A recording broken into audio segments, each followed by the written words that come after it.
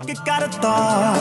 ਨੀ ਤੇਰੇ ਦਿੱਤੇ ਤੋਹਫਿਆਂ ਨੂੰ ਰੱਖ ਵਿੱਚ ਪਾ ਕੇ ਬੱਲੀਏ। ਉੱਪਰੋਂ ਮੈਂ ਜਿੰਦਾ ਲਾ ਕੇ ਲੋਕ ਕਰਤਾ। ਨੀਂਦ ਚੈਨ ਨਾਲ ਆਈ, ਜਦੋਂ ਅੱਖ ਸੀ ਮਲਾਈ, ਉਦੋਂ ਸੁਪਨੇ ਚ ਕਰਨ ਤੂੰ ਲਾੜ ਆ